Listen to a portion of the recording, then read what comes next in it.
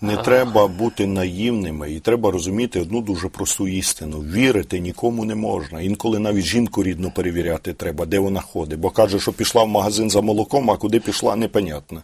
Тому, а тим більше, коли йдеться про міжнародні стосунки, тому що жодна держава в світі не зацікавлена в тому, щоб Україна була сильною.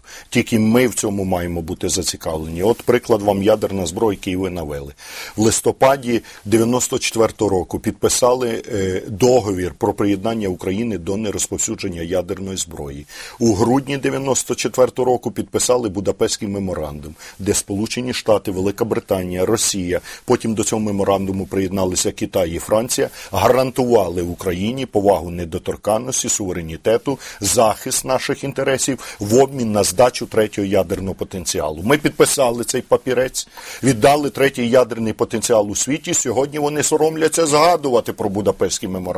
Кажуть, що це юридично не зобов'язуючий ні до чого документ. Так, якщо ви розказуєте, що цей документ ні до чого не зобов'язуючий, якщо Ну, одна із сторін, яка підписала цей документ, Росія порушила його гарантії і напала на Україну, то я вважаю, що цей документ втратив чинність. І це означає, що Україна повернула собі е, де юре статус ядерної держави. До речі, в статусі ядерної держави Україна була одним із організаторів в Організації Об'єднаних Націй цього договору про нерозповсюдження ядерної зброї. Якщо де юре ми відновили статус ядерної держави, значить ми маємо робити наступний крок. Це зробити заяву, що якщо ті держави, які гарантували нам недоторканність і суверенітет, не виконають свої гарантії, ми будемо вимушені почати програми відновлення ядерної зброї. І я вважаю, що це була стратегічна помилка здачі ядерної зброї. І того Кравчука треба отам десь у хатинці швейцарській, де він там собі зробив, підвісити на осені. Тому що він розказує, що грошей немає.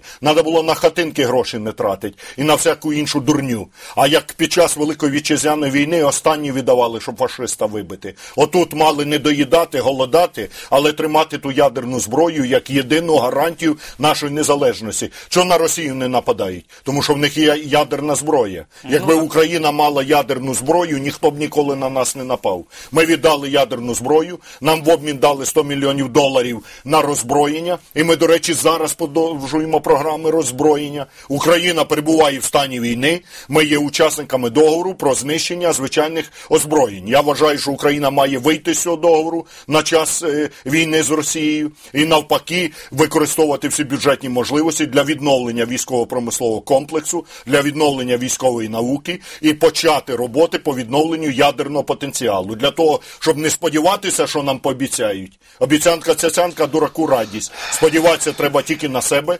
На українців і на свій ядерний щит, який ми маємо відновити. Ми У нас є. Южмаш, у нас є уранові рудники на Кіровоградщині, у нас є наукова школа, у нас є потенціал, у нас є все для того, щоб відновити найкоротші терміни ядерний потенціал. Досить ждати обіцянок, які виконають. Ніхто їх не буде виконувати, тому що поважають тільки сильних. Для того, щоб змусити виконувати, нам елементарно безвізового режиму дати не можуть. А ви хочете, щоб щось інше дали.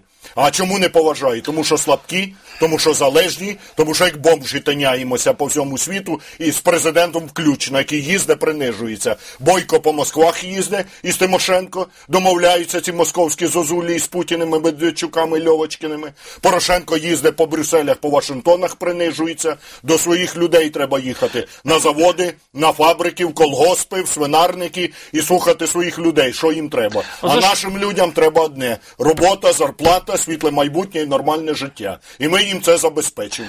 Ну, от так зневажливо до нас і ставляться, тому що бачать, що наша еліта не збирається захищати державні інтереси. Я змушу всіх поважати і Україну і українців. І перше, ми не віддамо мораторій на вивезення лісу. Хочуть наш ліс привозити сюди обладнання. Ставте його, давайте робочі місця українцям і беріть оброблений наш ліс. Хочете нашу землю, дулю вам без мака, а не землю. Беріть, вкладайте інвестиції, збільшуйте врожайність, е, нові технології, давайте українським селянам свинарники, корівники, а не одні технічні культури сіють рапс да е, сою щоб швидкі гроші заробити, а соціальної сфери взагалі і кіт не валявся.